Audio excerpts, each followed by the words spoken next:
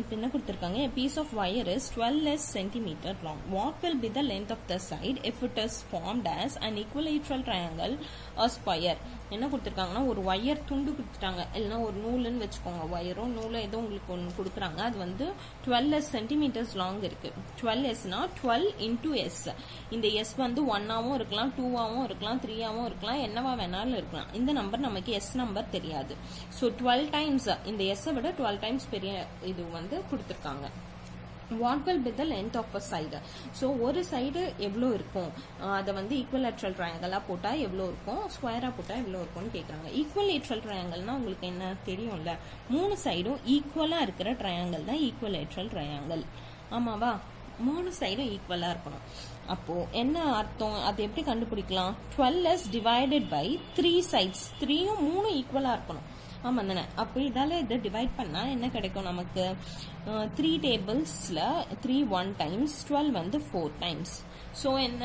இந்த சைடு வந்து four S இந்த சைடு வந்து ஃபோர் எஸ் இந்த சைடு வந்து ஃபோர் எஸ் கரெக்டாக டிவைட் பை த்ரீ பண்ணோடனே மூணு சைடும் நமக்கு வேல்யூ கிடைச்சிருச்சு. இப்போ எஸ்க்கு பதிலாக ஒன் கொடுத்தா எல்லாத்துலேயும் ஒன் தான். ஸோ ஃபோர் இன்ட்டு ஒன் இந்த சைடும் ஃபோர் தான். ஃபோர் இன்ட்டு ஒன் இந்த சைடும் ஃபோர் தான். ஃபோர் இன்ட்டு ஒன் இந்த சைடும் ஃபோர் தான்.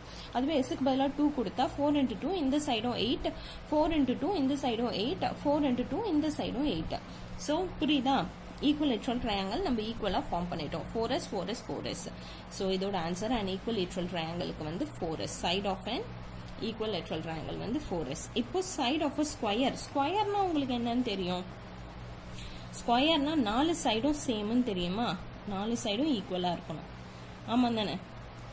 அப்போது twelve into S divided by four ஏன்னா நாலு சைடும் ஈக்குவலாக இருக்கணும். இதை நாலாக பிரிக்கணும். ஈக்குவலாக ம்.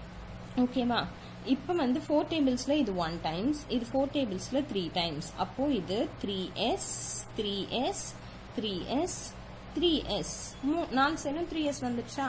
ஆமாம் அப்போது ஸ்கொயருக்கு வந்து சைடு வந்து த்ரீ எஸ் ஓகேவா இந்த மாதிரி தான் ஃபார்முலாஸ்லாம் டெவலப்